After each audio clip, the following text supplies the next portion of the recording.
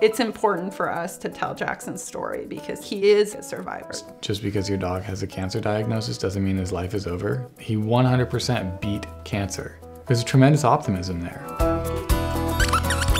I think just from our training that we have through ACVIM, we're able to see these types of cases, these difficult cases, gain experience with them so that we know what to test for and what to look for. And so that's, I think, the benefit of having specialty services around.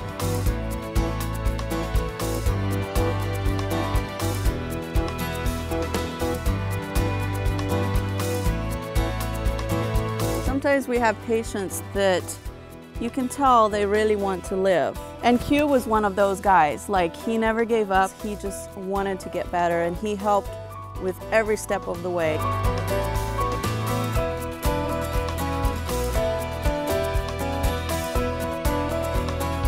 It was so shocking to have a three year old dog diagnosed with cancer. And so we are just so grateful.